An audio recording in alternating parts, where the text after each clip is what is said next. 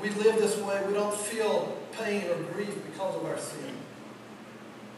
The Gentiles' walk caused them to give themselves over to sensuality and, and practice, to use Paul's words, every kind of impurity.